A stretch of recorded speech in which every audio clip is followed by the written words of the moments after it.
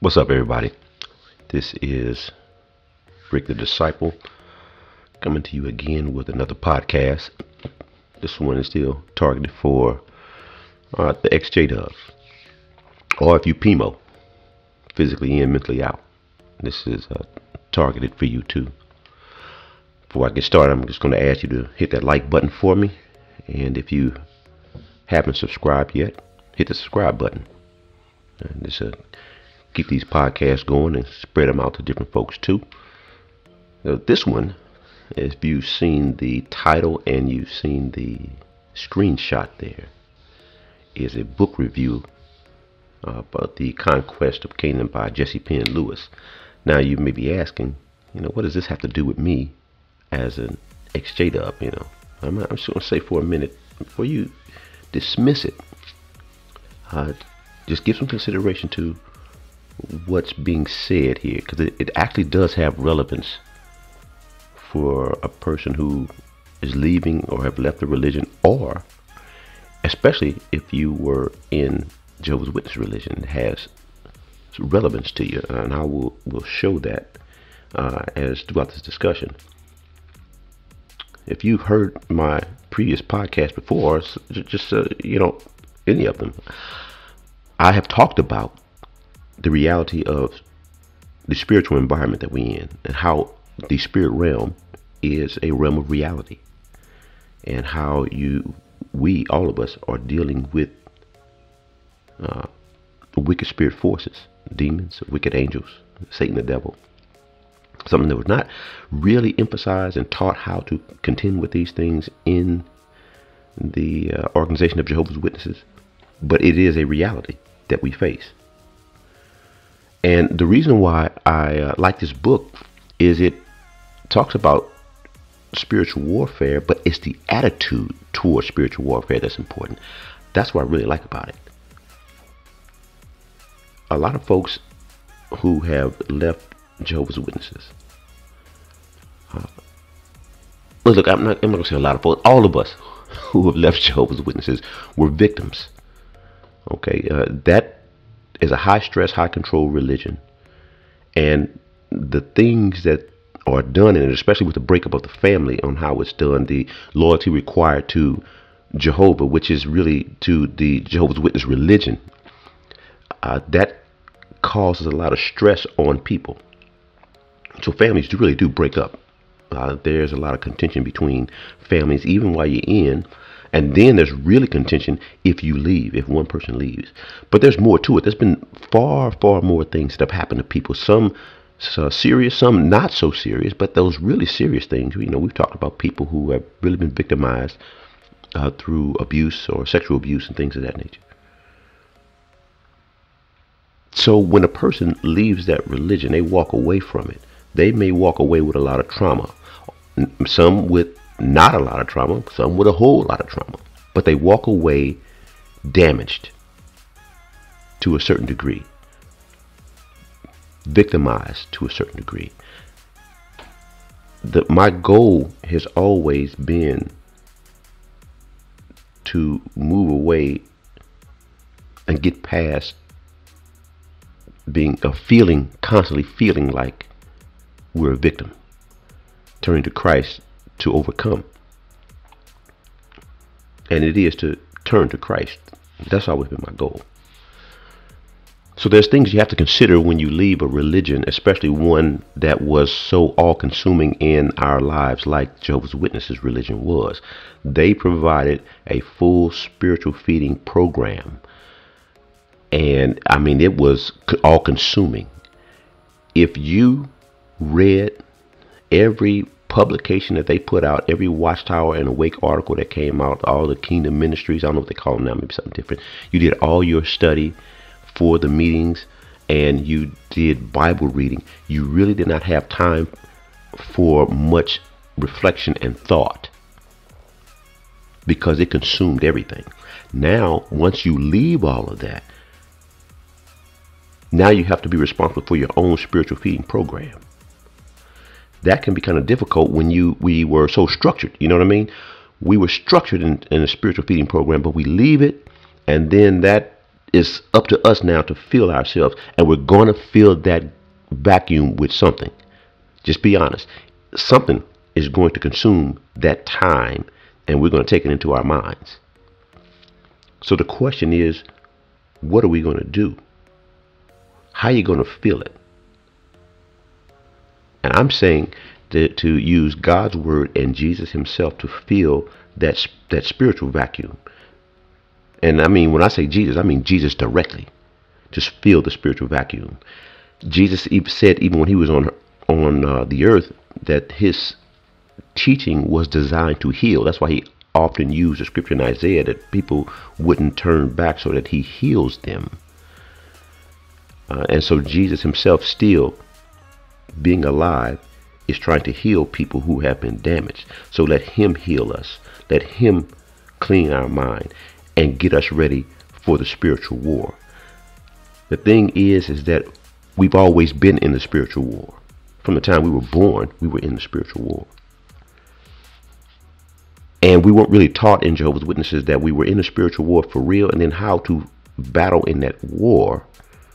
So we became a victim of the war, subject to how, however the war was conducted against us in that organization. You break away from the organization, the war does not end. You still have to deal with the effects of what we had to deal with in the organization once we leave, and then the war still continuing continuing upon us there. So how do we get into the fight so that we're not always a victim? That's why I like this book. Now, just a little bit about it. This was by Jessie Penn Lewis. She lived in the uh, late 1800s, early 1900s. She wrote this book, I believe, in 1904.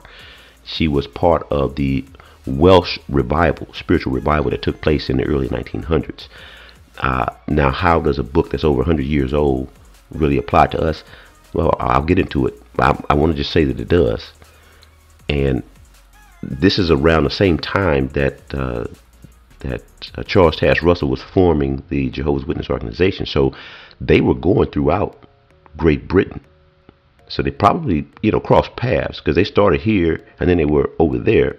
If you uh, read and believe all the history of Jehovah's Witnesses, uh, they were they probably crossed paths because there was a big spiritual revival going on around the world. But the Welsh one was just in was just noteworthy in particular in terms of history. See, back when it was happening, it wasn't noteworthy, but later on, once people kind of settled from it, uh, they saw that it was pretty noteworthy. So, this book is is centered around that time period, and Jessie Penn Lewis really showed, I, I like this, the attitude that we need to have because she recognized that we were in a spiritual war. And then we have to have a certain attitude about warfare. Spiritual attacks are going to come. They're going to constantly come. They're always going to be there. And the thing was learning to recognize these spiritual attacks. And instead of being in a defensive posture, the book helps us with the attitude of getting into an offensive posture. So that when you're fighting, and you're you're in the war and you're fighting, you're moving forward instead of always backing up because you're you're we're in some sort of defensive posture because we're always getting hit with the attacks. So we're just subject to the attacks, not the bringers of the attacks. And and that's why this one is good. Listen, I'm a, I'm going to say. Eh, eh, let me explain this too. That as you see, the title is "Conquest of Canaan." It's using the experiences of the Israelites on the time of Joshua to help us understand what spiritual warfare is all about and how we take the right attitude. There's a a, uh, thing, uh, a statement that became known during the Iraqi war called clear, hold, and build. Now, to give you just a little bit of background, as let me just say as I understand, understand this. In the George Bush cabinet, there was constant rivalry. A lot of folks, even in his cabinet, did not like the way Donald Rumsfeld was conducting the war in, in, in Iraq in particular. Because Afghanistan was kind of, you know, Afghanistan at that time was sec- became secondary. So they're in Iraq. So people didn't like the way Rumsfeld was conducting the warfare. Now, Clear Hold and Build actually came from Condoleezza Rice. A lot of people took Condoleezza Rice as a as a as a figurehead of nobody. She was kind of irrelevant. uh, kind of a uh, what do you want? What's the term? Where someone just parrots what the president wanted her to say. That she didn't have a mind of her own, but I think she was a very intelligent woman, really, and she really learned that role well. So what happened because Rummy was conducting this thing so terrible, and there was this rivalry? Uh, Condoleezza Rice stepped up. So what she did was she flew to Iraq and she met with this colonel who wasn't really published, but there was some success that he was having. And they didn't really talk about it too much. They talked about other things, but she saw this and she went and met with this colonel. And the colonel was telling her, her the reason that they were having success is because he had a strategy of clear, hold, and build. So they would go into a town, clear out the uh, rebels and insurgents, hold it, and then they would start building. So the building take place, then they move over to to someplace else, and they would do again clear, hold, and build, chase those insurgents out, do the same thing. And so Condoleezza Rice took that, and then she gets uh, in front of Congress in a public forum, and she talks about clear, hold, and build. She mentions this clear, hold, and build, and she kind of focused on this. Well, it was pretty embarrassing for Donald Rumsfeld that the Secretary of State is the one who announces a strategy in which the U.S. could succeed in Iraq and not Donald Rumsfeld, the Secretary of State. And that actually spelled the end of Donald Rumsfeld's run as Secretary of, uh, of Defense. That knocked him out because clear hold and build came from the Secretary of State. And now George Bush wanted clear hold and build to be the strategy. And that wasn't Rummy's strategy. It was Condoleezza Rice's strategy. So there was how she took out her rival because he, you know, again, they rivaling, they have rivalries inside. And uh, the way she was looked upon, Rumsfeld was doing a lot of undermining. It's I read some books on, on George Bush's uh, thing, and so that's one of the things I've explained. But clear hold and build, that knocked Rummy out completely from Secretary of State, Secretary of Defense. So anyway, in this book, and in the if you look back in the Israelite War of, of Canaan, that was the strategy. It was clear, hold, and build, and that's what they did. They didn't just destroy a town destroy a city. They would destroy it, hold it, build, and move on. So they kept going through. Joshua kept going through the land, and he would clear it of all the enemies. And then they, the enemies couldn't come back. They would hold it.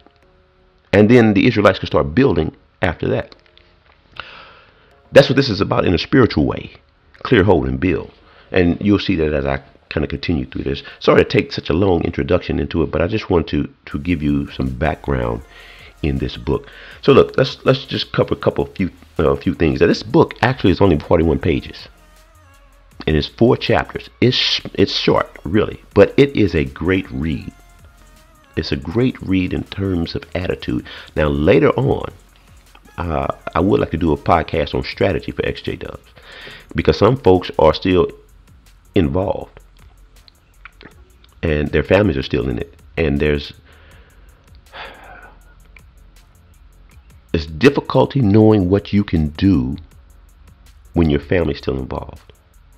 And they're looking for you to stay involved. Like a lot of PMOs, they have this issue. Uh, and then some ex who actually walk away, they still have this issue. And it's still a spiritual battle, but you have to have strategy. So we'll talk about that later. Anyway, let me get into this. So look, chapter one.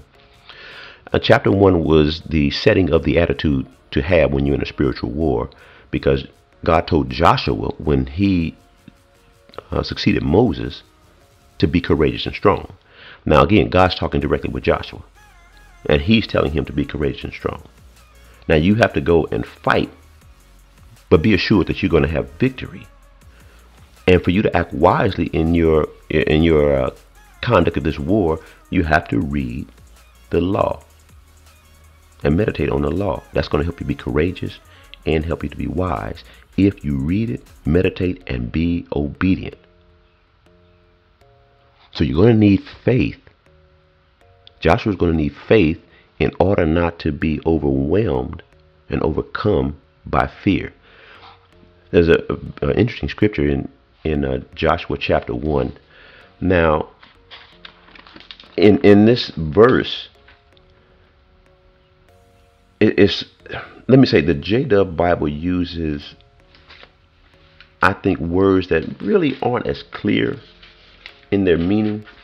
But it is in verse 9, though, he says, Have I not commanded you, be courageous and strong? Notice this do not be struck with terror or fear, for Jehovah your God is with you wherever you go. Now, it's interesting terror or fear. What it was really talking about, be struck with trembling, so much so that you fall to your knees because you're so afraid. You're shaking. As I mentioned before, again, my own thing, but the, the scriptures do bear out certain things. They were fighting giants still. They were going into the land of Canaan. The giants were still there. From the different tribes of giants, from the whole group of Rephaim, they were fighting them. He says, Don't tremble with fear.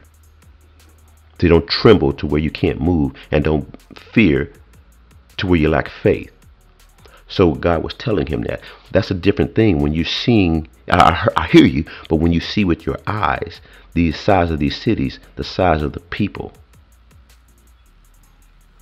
men can fear. But God told him, don't do that, and you're going to need all these things. You're going to need the law to act wisely and be courageous when you go into this land. And then we know that the, the first time they were about to conduct that warfare and they were coming to Jericho, and then God's angel appeared to Joshua. And what was interesting is the way he appeared, Joshua wasn't afraid. Joshua approached him, even though this angel had a sword drawn. And so Joshua was like, you know, what's up? And then the angel told him who he was, and Joshua, you know, fell to his feet and bowed to him, you know, showing respect. The thing was, is that that angel appeared to him to let him know that there is a battle taking place in the spirit realm before you go in the physical realm. So we've got your back. That's what the angel was letting Joshua know. Now, we've got your back. So you keep going. See, so and you, again, you got to think about it. When God gave the law of reading Deuteronomy, He was talking about a lot of things that, uh, or forbade a lot of things that the Canaanites were doing in the law, specifically because a lot of the things that they were doing were spiritistic. In other words, they were conjuring things from the spirit realm and doing sacrifices to get the approval of demons and wicked angels in order for them to have success. So they were fighting spiritual forces, and those spiritual forces were being called upon to defeat the Israelites. So the war was spiritual as well as physical. So they had to, Joshua needed to understand that. That's what that angel was there to tell him. So we're there with you. We got your back. So, hey, they went into the land and they fought and God was with them. But the attitude, number one, courageous and strong. No fear, no trembling. Because as a Christian, especially, God has our back. Jesus Christ has our back. Angels have our back. Holy Spirit has our back. That's what he was getting at. It's a spiritual warfare as well as a physical. Now, chapter 2. The other thing that was needed was faith with action. So it wasn't just they were going to go forward. They had to have action. This was part of the clear and hold strategy that they had. So they go into a town, uh, go to a city, and they clear it. See, even with Jericho, what they do? They cleared it of everything. Rahab was saved, but everybody was taken out. And it was the angels God's spirit or the angels who dropped those walls. And then it was the angels that backed them up to go in and clear the town of all the inhabitants who were practicing these these despicable things. So they went to clear and hold. Now Jericho was leveled. That was theirs, and they can do what they want with it. So what they also had to realize though was that in a spiritual way, the attacks were going to come to them. So the demons weren't just going to lay down. The angels that were backing them weren't just going to lay down. They were going to come to them in a different way. And in this book, she was explaining how Joshua got and the older men got deceived by the Gibeonites. I think uh, if you you know been around J-Dub for a while, you remember that story. They got deceived. And the point was in an attitude of faith and an attitude where you know that you have spiritual backing, you suspect everything. Nothing is to go without suspicion. So anybody that comes to you, I don't care if it's family members or what, who are J up, you suspect everything. It doesn't mean that you look at them suspicious, but you're looking for the spiritual thing behind them. What are they doing to get us? That's what she was focusing on. They won't quit. The demons will not quit. What Joshua failed to do and the old men failed to do was ask for God's wisdom. So what he said, he told Joshua, you got to read the law to act wisely. That thing with the Gibeonites was not wise. Then you found out three days later that you've been deceived. So in the spiritual battles that we face, we have to recognize that God and Christ are there to help us with wisdom. That's what we have to look to through prayer and through study of his word. So it's a spiritual recognition. It's not the physical. It, when someone approaches it, that approach, we don't know the source. We don't know the why. And we, if we find out the why, is the why the really the why, or is there something else to it? It doesn't mean you look at everyone suspicious. It's just that you take time to get the sense of what's behind them, what's their source. We have to seek guidance through prayer and through study of the Bible. you're dealing with, you're in a war dealing with spirits who are trying to harm, so they need to be exposed. That's what she was pointing out in this book. Jesus said that just like with, with uh, Joshua and the Israelites, God had told them that wherever they go, they would put their foot on the necks of their enemies. And, and there was a situation where Joshua literally did that, put his foot on the neck of his enemies. And so Jesus said, Hey, I, I give you power to tread on serpents and scorpions. He was talking about demons. I give you that power too. But the thing is, we have to recognize them when they come because when it's they, they can come you know with a direct spiritual attack or they can come with a subtle attack in deception because there are a lot of spirits who are well they're deceptive and that's what they do they try to deceive but we have to take a firm stand for righteousness is something that she had pointed out. Standing firm for righteousness helps to expose demons behind as a source of the attacks coming to us, especially through people. When we stand for what's right and what God says is right, then we recognize that source. So therefore, we see the importance of the attitude of faith. We have to actually trust that God's word uh, is righteous and what he says through his son Jesus Christ is what is right. And once we stick with that, then we can recognize sources. So even if they come to us subtly, we don't have to accept it right away, even if it sounds good. Even, even if it sounds reasonable, we may have to pray for some guidance to see, well, what are they really doing? Or, or how are they appealing to me?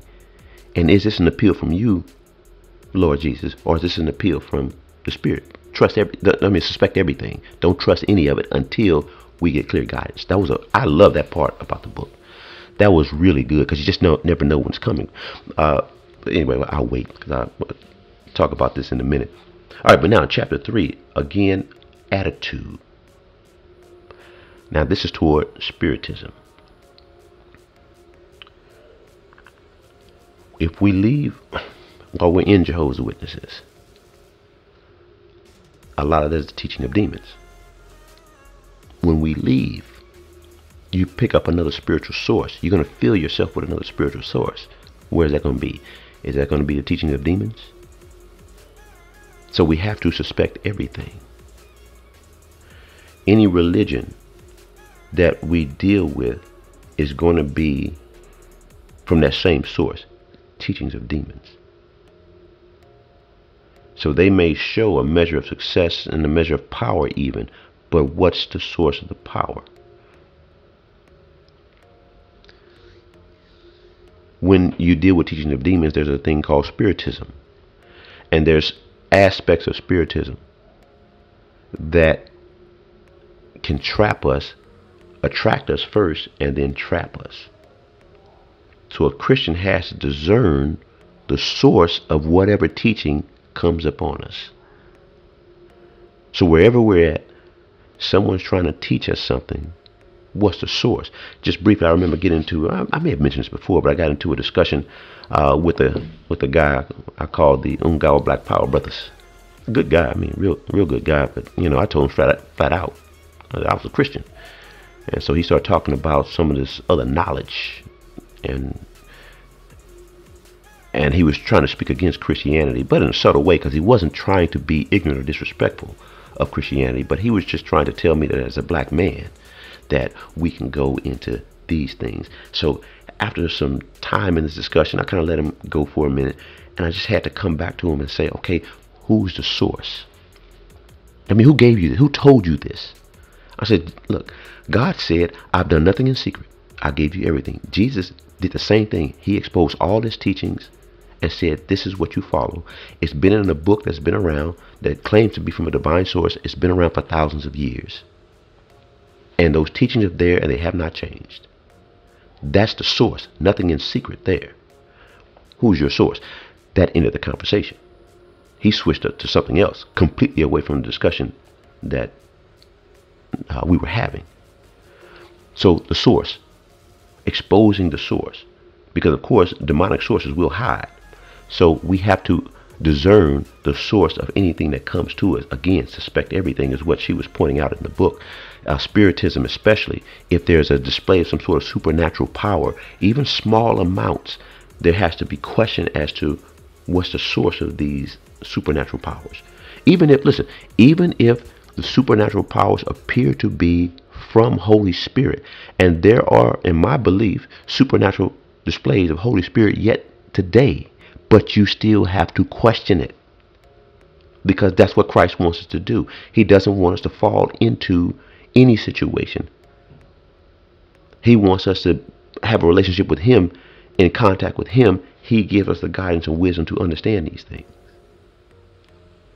So you look at the effects of the spiritual life of the person. What's the effect on the person or the people in reality to know what the source is? It's something that Jesus had said in John chapter 14 and chapter 16. Uh, the the difference between well, let me just say you can take it as the difference between a demonic source and uh, a godly source is that Holy Spirit will teach you. So the teachings will actually we read God's word and then if there's some sort of wisdom that needs to be pointed out, there are circumstances, and then Jesus will use Holy Spirit to call to mind, to relate to that to that situation, to know if it's this is from a, a godly source or is it's a spiritual or, or excuse me, a, a demonic source, because the teaching from God's word once we get it into our minds, Holy Spirit brings it back up. So, in other words, the understanding, the wisdom comes from within us through Holy Spirit. The other sources are on the outside. Now, Jesus said this. I thought this was very interesting when you look at it, and she pointed this out uh, in the book about Holy Spirit. It says this is in John 16 13. It says, However, when that one comes, the Spirit of truth, he will guide you into all the truth and he will not speak of his own initiative, but whatever he hears, he will speak. Now, check this out. And he will declare to you the things to come, future. See, and people go for divination because they want to know the future. Okay, that's a source from without, but the Holy Spirit declares a future to Christians, and it comes from within because Holy Spirit is in us. So, therefore, we'll know the source on something that we see on the outside because God uh, and Christ through Holy Spirit would teach us from within whether that's valid or not. I love that point. I mean, that was really powerful to me. Therefore, once we have that, there's the aggression that we can have, the attitude of aggression towards spiritual war, because we know God through Holy Spirit, with Jesus Christ, the angels, is backing us up because it's coming from within us because Holy Spirit is in us. And that's how he teaches. That was chapter three was powerful to me. Very powerful. And I and I really respect what she put in there. And now the other point in chapter four, chapter four was all about the recognition of curses.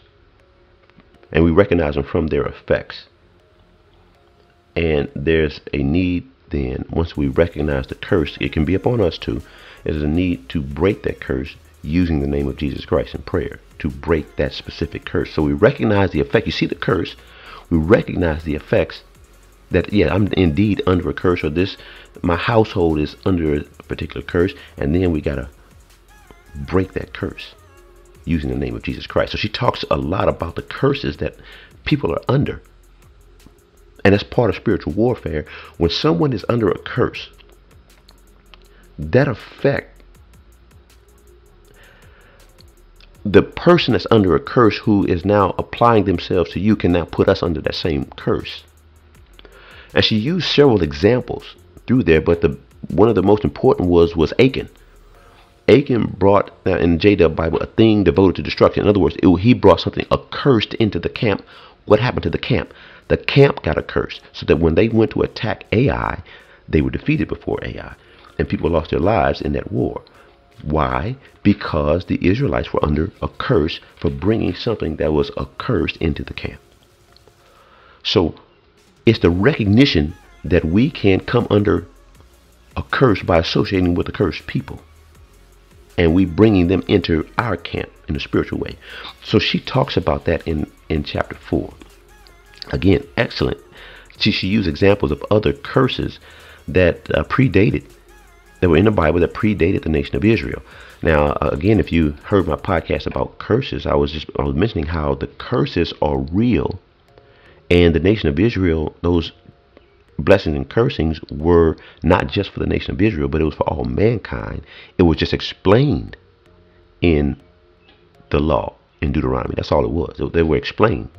And so the nation of Israel would come under a curse, but so other nations, other people. They were accursed too because they didn't know God's law and they were had submitted to it to these particular principles and things in life, these particular laws, and they, they were dealing with uh, demonic sources. So a curse is a curse. It doesn't matter who it's where it comes from. It's going to have an impact. So that was the book in itself. Again, it's a short book, 41 pages, four chapters, but extremely powerful in my opinion uh, helping us to have the right attitude towards spiritual warfare. The recognition that whatever we do and any time in life, we're in that spiritual war. Now, but what do we want to be? Do we want to be the victims of the war or do we want to be the aggressors in the war? So that we're not victimized, but we become skilled in warfare in a spiritual way. And we recognize when we're under attack because we are constantly, as a Christian, now, we are constantly, as humans, under an attack. It's just that Christians have the ability to fight back for real because we got backing from uh, from God, Christ, and from Holy Spirit, and the angels in heaven. All right. So now, how does all of this apply to us who are ex J Dubs? And this is what I was wanting you to hang on for. Again, it's the attitude. And I'll just briefly run through these chapters again, but apply it to us as XJ Dubs. It's the attitude in chapter 1. We are in a spiritual war. We have to clear hold and build. So it's not just getting, recognizing the demons, is getting them out of us. That's territory. Us, our minds, hearts, and bodies, getting them out, number one. Getting them out of our house. And then we build. Clear, hold, and build. We have to have the right attitude. Remember what we're fighting. If you are an ex J-Dub, remember that there was a lot of spiritism in the religion, a lot of demonic activity within the religion, and it has to be from yourself cleared. We got to clear those demons out. Hold, and then build in a spiritual way. See, we need to read continue, uh, you know, fill that void with God's word and with prayer. And then once we kind of get the sense that we're in the war and we can start operating in the war, now you can go and be disruptive. See, I had mentioned before, if you go, you still got to go to the Kingdom Hall. Let's say you're still with your family, you can go to the Kingdom Hall and disrupt the spiritual atmosphere that's there. The Kingdom Hall is a Masonic hall. Think about it.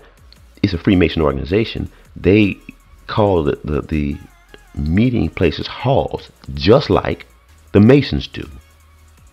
So it's a Kingdom Hall, it's a Masonic Hall. The old ways of of of uh, building the Kingdom Hall was absolutely Masonic in how they designed it. So you're still in the Masonic organization. That's what it was. So we got to get in. If you, you go there, you can disrupt the spiritual atmosphere through prayer with angels, you know, through Holy Spirit. You can do all that. But you got to do it in your home first. And the way that we do it is number one, first of all, standing for righteousness. Righteousness has to be the key. That's why we need God's word to understand what righteousness is. And I'm not talking about any sort of religious thing. I'm just talking about doing what's right according to God's eyes. Let me give you an example. Back in my early 20s, I was pioneering. All right. Uh, I was all in my whole jaded up mindset. And I was working part time. I was going to school. I was pioneering, but I was still living in my father's house. Now, my father stopped going to the meetings at that time. You know, he, he never was really in it for real. I mean, he never really progressed in the religion. He had a lot of issues with the people there and all that. You know. Okay. So he was never really in it. So he stopped going for a while because he was kind of discouraged behind some things. And for a time, I started kind of looking down on my dad because he wasn't doing all the J-Dub stuff. He really wasn't involved, and you know the family was, but he wasn't. And my dad had to check me one day, for real, because the reason that I could do all these J-Dub things in my 20s, pioneering and all that, it was because I lived in his house. Because he was financially supporting me. It's because he permitted it in that house. And when, and, and that time, it was actually kind of hard to come about jobs at that time. It was really kind of a down economy.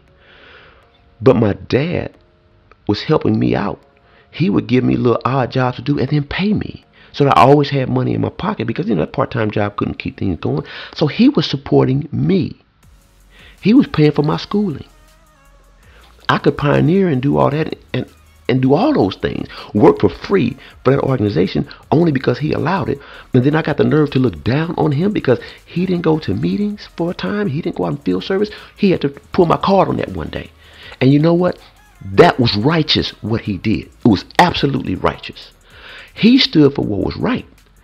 The only reason you can do this is because of me. Now, if you had to go out there on your own, and, and which is some years later, when when he's I was renting from him at the time, still low rent. I could still pioneer. But once he said, all right, son, it's time for you to go ahead and, and get your life together, that pioneering stopped. I had to go work full time. I couldn't do the 90 hours. That was done. So when he checked me, he was absolutely righteous. He was far more righteous than I was, even though he wasn't going to the meetings. And that's the same for a lot of you XJ dubs who have families that's still in it, family who you are supporting. The righteousness comes in you being a good head and you taking care of your family if you're a male. If you're female, the righteousness comes in being a good wife or husband or whatever, or a good wife or good mother or whatever you're doing. It's about being righteous. Righteousness will help you to recognize the demonic sources. That's why we stand for what's right. That's why we need God's word to stick with it. That's how we can get aggressive in the spiritual war. That's having the right attitude. So if you are ex-J-Dub this is how this book applies the attitude and getting righteous. And I've always noticed this, and I've said this before too in previous podcasts. If you leave, don't let, never go on your knees. Don't ever let them tell you or talk to you as though you're struggling. You're not struggling. You don't have to go back. You don't need that to be a spiritual person. In fact, it gets you away from the demonic sources that's, that's hindering you. Chapter 2. Again, it's about the recognition of the sources that's behind whatever's coming to you. Suspect everything a lot of XJ talk about the love bombing that takes place when they start calling with love and all this. Oh, we miss you. We want you coming back and all this other kind of stuff. They they, they call and they talk to us, to us about that, right? I mean, you had that. A lot of you have had that. Well, but who are the people that are calling? See, suspect everything. That love is not love. That's deception. Because once we get back, we got to deal with the exact same people, the exact same atmosphere, the exact same teachings, just calling us back to this demonic source. So suspect everything. We have to learn to be guided by Holy Spirit. And again, back to the standing up to what's righteous. And understanding that when we stand for righteousness, the demons will show themselves. Let a J-Dub love bomb you and then hit them with a scriptural verse like John 14, 6. But why do I need the organization, Jehovah's Witnesses, and all that when Jesus said no one comes to the Father except through me? Watch the attitude change. Hit them with a, a matter of fact, just check this out. Just hit them with constantly using the name Jesus and see how they respond. That love bombing will change to hate bombing right away because they don't teach Jesus. That's how you recognize the source by standing for what's right, using the name of Jesus Christ. And you'll see all that comes apart. All that love stops. And then you just laugh about it, see? And then go thank God, thank Christ. Okay, yeah, I learned to stand for righteousness, and I see, uh, I see the demonic behind this. That ain't real love. That's not agape. Chapter 3 is about spiritism. And in two ways is recognizing the spiritistic teachings of Jehovah's Witnesses and then recognizing the spiritistic teachings after leaving Jehovah's Witnesses. We have to recognize the source behind the teaching that we start to look into. And what's the long-term outcome of the teaching? Once we recognize that and get a sense of that, and we see the source, then we'll know how to properly deal with it. You will know that we're under attack from demonic forces, that they're coming to us, and all they're going to do is steal from us. That's what they're going to do. They're going to take our time and energies and change us to doing something in their behalf, sucking the life out of us, just like Jehovah's Witnesses did. Think about it. How much free time, volunteer time, you put into Jehovah's Witnesses? That's stealing. Your time is valuable. In this world, you should be paid for your time. But we volunteering. Yeah, you got treasures in heaven. Well, let me spend some of them here on the earth. I, do that by taking my time to myself, giving it to Christ directly. So that's recognizing the spiritual, the the the source, the spiritual source behind whatever teaching you fall into. So if we're looking, we're searching for something else, 99% eh, of it's going to be spiritistic. Some of it's going to be good, but it's going to be spiritistic in the long run. So you just take what you can get, but we need God and Christ to help us to identify what's there and to use godly wisdom in taking what we need and moving forward. Because there are some things out there that are helpful. Truthfully, there are a few teachings that are helpful, but long term, it's not helpful if we follow the complete teaching. We have to recognize that through spiritual wisdom. And that only comes internally from God's Spirit being in us so that now God uses that Spirit to project a spiritual understanding so we can accept what we need, discard what's not there. Now, the last thing in chapter 4 is the recognition of the effects of curses. Now, listen, I'll tell you what, I've shared this before, but let me read this again. This is in Galatians chapter 1, verse 8 and 9. It says, However, even if we or an angel out of heaven were to declare to you the good news, something beyond the good news or gospel, we declare to you, let him be accursed. As we have said before, I now say again, whoever is declaring to you as good news something beyond what you accepted, let him be accursed. All right. So here again, we have to recognize that when we were Jehovah's Witnesses, that was a good news, a gospel beyond what's in the scriptures. It was a curse. That's why there's demonic effects. That's why there's not much success because we were under a curse. We got to break that curse using the name of Jesus for real. So even if you walk away from it, the curse is still there. You got to break the curse as soon as you walk away. Even if you are mentally out of it now, you got to break the curse because that is not the Jesus that's in the scriptures. That is not the Jehovah, the Yahweh, or Jahwe that's in the scriptures. That is a different gospel than what's in the scriptures. So therefore, we came under a curse. All religions teach a different gospel that's in the scripture because it's, it's the religions for the benefit of the religion, not for the people. Therefore, it's a curse. So we got to break that curse. If you go back to, I'll, I'll read this because I think this was absolutely powerful too in 2 Corinthians chapter 11 verse 4 where he says, For as it is, if someone comes and preaches a Jesus other than the one we preached, or you receive a spirit other than the one you received, or good news other than what you accepted, you easily put up with them. A different spirit, a different Jesus. That Jesus that we learn in Jehovah's Witnesses is not the Jesus of the scriptures. And you know it's not the Jesus of the scriptures because if you use Jesus in the scriptures to a Jehovah's Witness, they will curse you. They get upset. They get mad. They get angry. Why? Because it's not the Jesus in the scriptures. So therefore, when we were in Jehovah's Witnesses, and I will say this too, that when I was in Jehovah's Witnesses, I saw I saw the Spirit move on people, but that wasn't Holy Spirit. Now that I understand things, what I saw as an elder, things happening, that was another spirit. That was not the spirit that comes from the teaching about the Christ. It's a different spirit. We got to break that curse. And when we break that curse, we are actually now free of the religion. Now we're free to go and start devastating in the territory that we have, whether it's ourselves, our homes, or the the the uh, Kingdom Hall. If you still need feel a need to attend the meetings with your family, now you can go in and start conducting warfare according to the real spiritual warfare that the scriptures lay out.